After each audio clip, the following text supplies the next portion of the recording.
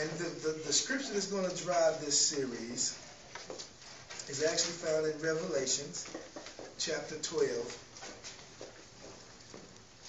verse 11, the first part of verse 11. And it says, And they overcame him by the blood of the Lamb and the word of their testimony.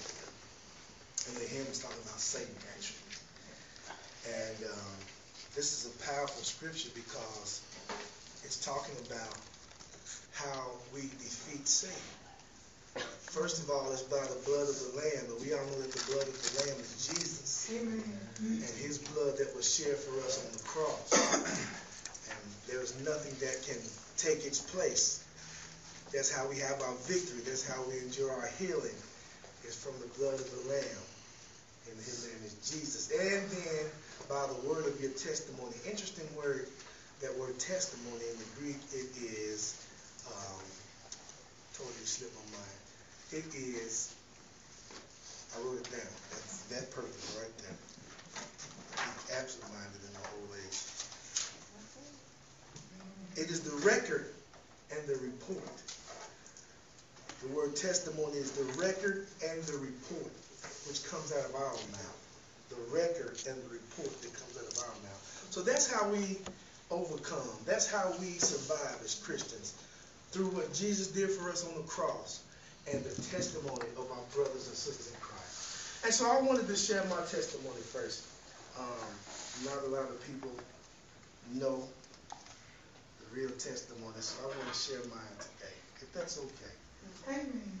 A lot of people know that straight out of college, I had a chance to play in the NFL for seven years, and, and that was uh, that was a great opportunity. Everything was good, life was easy, JD. Not a lot of real cares and worries because I actually got to play the game that I love for a living, and not everybody gets an opportunity to do that. But because of that, because life was easy, because we had a great income, because everybody said hi to you. It gave me a false sense of a false sense of security, and the problem was I began to depend on what I did for a living more than I depended on God, and that's where we get into danger.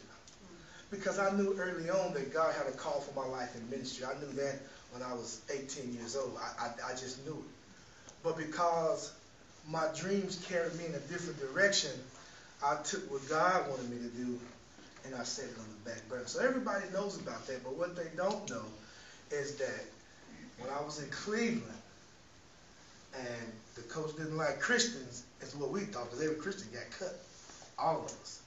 And when I got cut and had to come home and begin to deal with life on a different level, everything changed. My favorite scripture has always been, since I got serious about my walk with the Lord, God put Proverbs 3, 5, 7 in my heart. Yeah, 3, 5, and 6, that's 7, didn't it? But he always says, trust in the Lord with all your heart and lean not to your own understanding. In all of your ways acknowledge God, and he will direct your path. But I trusted in what I did for a living instead of trusting God. I thought my own insight and my own understanding was enough. I no longer sought God for direction, and I was under the impression that I could do it on my own because of what I did. So you walk in on a Tuesday, on a Wednesday morning. You've been off Tuesday. It's week number one, and I just I got traded from Miami to Cleveland. By the way, I don't like Cleveland, not because I got cut, but leaving Miami, 80 degree weather, going to the cold, that didn't agree with me. Side note. So I walk in, and, and you know when you get cut in the NFL, there, there's a guy, and we call him the accident. And when he walks up to me and says, hey, coach, need to see you. Take your playbook. You know you're, you get into your world.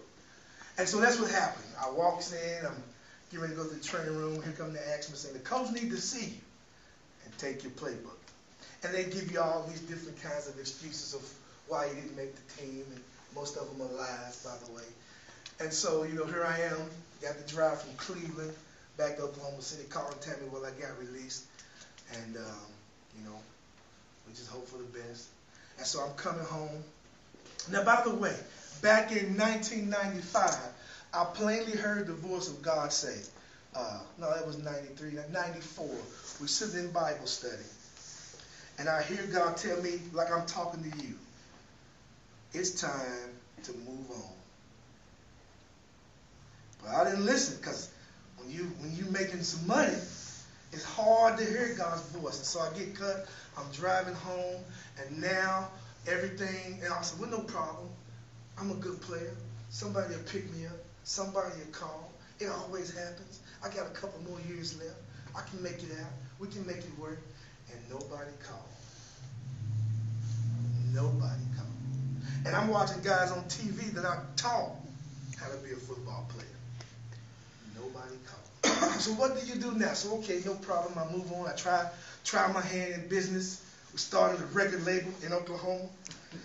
to me and Tammy had an office down in Bricktown. Now I ain't got no more money coming in. Now all the money's going out. But we started, hey, this is gonna work. And all the while I could hear God saying, This is not what I called you to do. It failed. I ended up, listen now, I ended up sleeping on my mother-in-law's floor, driving a Krispy Kreme donut truck. Because we lost the house. I tried to go back to college. That didn't work. So here I am, mad at the world. I'm, I'm upset. And I said, God, I'm done. The church that we served at, I felt like I was being abused there. I said, that's it. If this is what you're going to do to me, fine. I'll do it my way. And so I began, I'm laying on my mother-in-law's floor, sleeping. My kids all piled up in one bed. My wife is sleeping on the couch. And you don't know how bad I feel. Tam and I always talk about people don't understand when, when, when other folks have put you on a pedestal and then you got to experience the fall. That's more than a lot of people can handle. I was this close. I was this close to losing it. I'm driving this Krispy Kreme truck from 4 in the evening to 3.30 in the morning to Altus and back. And I started out by listening to preaching on the radio. I turned it off. Forget it. It's over with. And so God said, okay, well, I ain't got your attention here. So we ended up, we moved out of my mother-in-law's house. We had a, a little house over in Midwest City. And, uh, you know, I'm still just going through the motions. Going through, have you ever been there going through the motions? And I remember when it hit the bottom, I was working uh, as a maid, taking care of the people's houses, and wasn't making a lot of money Tammy was teaching at the school. We were down in one car, and I had kept the car. When I came home, Tammy was fired up. She was mad. Hope she don't mind me saying this. And uh, I picked up, and we got to the house. Our lights was off, and she drove off. Drove to her mama's house. That's it. Know, we were arguing and bickering. I sat there in that dark house, mad at the world, upset. Didn't know what I was going to do. If this is what you got intended for me, God, there is no way I'll ever fool with you again. I'll do it my way. And so you begin to try other stuff, you turn to other things, you do all kind of stuff, and nothing seems to work. And I'll never forget, God said, Ronald, I'll never take you from something to nothing. I'll always take you from something to something better. You got to trust me. You got to trust me. Because through all of these things, all of these struggles, all these ups and downs, I lost my trust. I said, God, here it is that I prayed back in 92 for you to save my mom. She died of cancer. I prayed for this. It didn't happen. Why should I trust you? Why should I put my confidence? Why should I seek for safety and security in you when every time it seems that you've let me down? God said, I will never take you from something to nothing. I will always take you from something to something better. And all them years of frustration, all those years of heartache, all those years of feeling like I was disappointed was all because what he put in my heart. He said, I didn't call you to those things. I didn't call you to live this life. I called you to live this way. You remember Proverbs 3, 5, and 7, bro? 3, 5, and 6. I said 7. I must need to include 7 in that thing. he said, Do you remember sitting at that table in Pittsburgh when I said walk by faith and trust in the Lord with all your heart? Do you remember that? And I said, Lord, yes, I do. Have you been doing it? Well, I guess not. Because I had learned to only depend on me. I had learned to only trust what I could see. I had learned to only trust what I could do, what I could handle with my hands. And God was plainly saying, That's not what I've called you to live. The Bible says, The just shall live by faith. It is impossible to please God without faith. So your job is to walk by faith and not by sight and to trust me above all. Have you been trusting me? And when God put me on the spot, I had to come clean. I had to say, Lord, I haven't been trusting you. I've been upset. I've been mad. I've been blaming you for not doing what I'm supposed to do. Can anybody relate to that? I've been blaming you, God, for taking me through all this trouble when I when I didn't do what you asked me to do in the first place. And I've been blaming you, God. I'm sorry. I'll never forget when I fell on my knees and said, God, I'm sorry. I'm sorry. I'm sorry. I'm Lord. I've, I've got myself in this situation. But Lord, I need you to help me get out because I can't do it, God. You've seen what I've done with my life. You've seen where I've carried myself. And God said, I told you a long time ago, I got you. Now get up off your knees and do what I told you to do. Because what God had to do is he had to take me through a process and clean out. Have you ever had a swimming pool and you enjoyed it all summer and you never called the maintenance man and one day the pool turns green or yellow instead of instead of the color it's supposed to be? Because all that stuff that you've been just collecting is building up in, in the garbage tank and you've never cleaned it out. God said, I had to get you cleaned out. Because I couldn't use you the way I wanted to use you. I couldn't let you do what I wanted to do. Why? Because you had all this junk from your life built up. So I had to take you through all of these things and get you cleaned out. Here's what I'll say. It's easier to do it God's way for God to have to clean you out. Amen. Because if he cleans you out, if, if he sends you through a cleansing process, it's going to be rough. But he always reminded me, Ronald, I'll never take you from something to nothing. It will always be from something to something better. But we have to trust in the Lord with all of our heart and lean not to my understanding. In all of my ways, acknowledge God, and He will direct my path. So what happened? God had to put me in a place where I could meet a Tony. God had to put me in a place where I could meet a Mary and a Lance and a Jeff and a Shannon, a Keith and a Charles Evans, a Kerr, a JD. He had to put me in a place that was conducive or the right environment for me to do what he called me to do. Because anytime that you're in the wrong place trying to do the right thing, it'll never work. That's right. Anytime you put yourself where God didn't place you, it will never work. And God said, you can't reach your full potential and with this group of people. You got to move and let all that old stuff go. Everything that you're trying to hold on to from the past is useless. And you've got to let it go. Why? Because I'm taking you somewhere. You can't see it, but you got to trust me. You thought that old stuff was good, but you wait till you get to where I'm taking you. Amen. And so God said, I got to get you ready. I got to clean you out. You got too much junk in you. And see, what happened was because people were screaming your name on Sundays and wearing your jersey around town, you get what I call ego, edging God out. And that's where I was. I was so big, my, my dad said, too big for your own britches. And you know what happens when you're too big for your own britches? Daddy got to tighten you up. And so that's what God was doing. He was taking me through something and helping me to understand that you've gotten too big for your britches. And I've got to knock you back down the side because your, your head can't fit through the door because it's too big. You ain't nobody. You're a country boy. Remember that?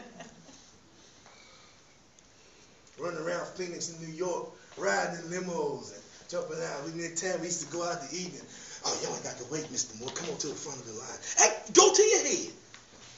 But so God had to remind me of the, the gift and the call he put in me. So we went through the process. And I landed in a life group full of people that cared, that genuinely cared. Had friends that genuinely cared. Had people in my life that wasn't necessarily out to get me because I had become so isolated because everybody that was around me had their hand out. So I became isolated. God said, I can't use you isolated. I can't use you closed off. I can't use you when you feel like everybody's out to get you. I can't use you with all that bitterness and hatred you've got in your life. Now remind you, I knew that God called me into the ministry when I was 18 years old. But because of all the things, the hurt, the heartache, the disappointments that had built up, God said, I can't use that because it will come out when you share with people. It will come out when you minister to people. So I've got to take you through a process. But your job is to trust in me with all your heart. And it's interesting that that word trust means to find safety and security and satisfaction in God other than finding where I had been finding So I landed in a life group of people who cared. And I still had no intentions of ever doing this. Look, this is the furthest thing from my mind. No way, no how. Been there, done that. Got the t-shirt. Not going to do it again. But because of God and his goodness and his grace and his mercy, once he got all the old stuff out and began to fill me with his grace and his love and his mercy, he said, now, do you remember 1993 or 94? Sitting in your living room at Bible study, the seed that I planted in your heart. I said, yeah. He said, now is the time. And that's why you are here. because of something God put in me years and years and years ago. A little seed that says, there's too much division in the church. It's too, it's too separate. Where in the Bible did it say that we can't worship together because of the color of our skin? He said, you look in the stands every Sunday, you see every race, creed, and color screaming your name. The church needs to be that way. Amen. And because of that seed that running out of tunnel in Cowboy Stadium in 1993, or maybe it was 94, can't remember that he put there. And it took me through all that stuff. But God never failed on his promise. Here's what I'll tell you from the bottom of my heart. Today, I'm enjoying life more than I have ever enjoyed life. Now, do I still have my faults? Do I still have my shortcomings? Do I still need to grow? Yes, I do. I'll be the first to admit it. Tammy and I have problems and issues that come up all the time. Why? Because of me mostly. But God says, I will never, if you don't remember nothing else, remember this. I will never take you from something to nothing. It will always be from something to something better. Our job is to trust in the Lord with all of our heart. Listen, and don't lean on your own understanding. Don't lean on your own way of thinking. That's what got me. Because I depended on my way of thinking. Mm-hmm. in all of your ways, acknowledge God. In other words, put him first. Let God be the number one priority in your life. Because here's the guarantee. He shall. The word shall is a binding agreement in the Greek. That means it will happen. No question, no doubt about it. He shall direct your footsteps. And God has walked me through maze. But now I'm at a place where I can see a little clearer because God is directing my path. My challenge today is that if you've been in the valley, if you've been going through, and it don't look like nothing is ever going to happen, trust in the Lord with all your heart because he mm-hmm. will. It's a guarantee. If you delight yourself, God will take care of you. Amen. Amen. Let's pray.